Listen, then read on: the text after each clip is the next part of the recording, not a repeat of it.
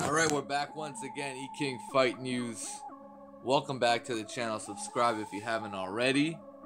And here we go. Guillermo Rigondeaux, coach Pedro Diaz, is saying that Guillermo Rigondeaux is going to be a nightmare for Vasyl Lomachenko come December 9th. The showdown is real. No love lost between the team. And Pedro Diaz is just speaking on the quality of work he's getting uh, Rigo in shape for. And, you know, Rigondeaux looks like a beast in training. Uh, I, I, I think I've said this before, man. This dude is is really building muscle and he looks in, an, in phenomenal condition. Phenomenal condition. For a 37 year old, you know, he doesn't look 37, I'll tell you that much. Additionally, Guillermo Rigondeaux, his training speaks volumes on his lifestyle as well. He's the kind of fighter that wakes up at 9 a.m., you know, eats healthy, and just gets gets that work in, man.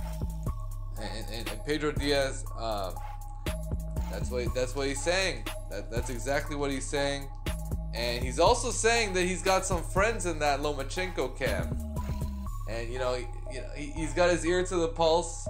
He, he feels like, um, you know, Guillermo Rigondeaux certainly has more that more than enough of an edge to outskill Vasyl Lomachenko here. Uh, he, he's brought it up once before that, you know, considering that Nonito Donaire fight, that was really Rigo's first major test. And, you know, Guillermo Rigondeaux pretty much fought Nonito Donaire somewhere in between 135 and 140 pounds.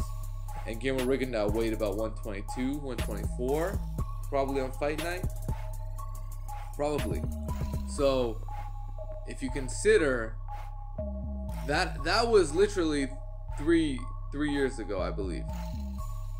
Three or so years ago when that happened. Now he's once again stepping up in weight for the first time um, in a very long time. You know, he stayed down at 122 for quite some time. So, who knows? He, he may be secretly ready to move up in weight. You know, it, it's it's your body the body of a fighter, you know, is not designed to stay at one weight class for the entirety of his career. Uh, that's just facts, you know. All fighters at some point uh, grow out of their weight class, right? So maybe this is Guillermo Rigondeaux's time to grow out. Maybe it is. Pedro Diaz feels like, you know, training has been nothing but incredible for, for Rigondeaux during this camp. And he feels like it's going to be a nightmare come December 9th. Uh, Lomachenko, he's got to beware, man. El Chacal.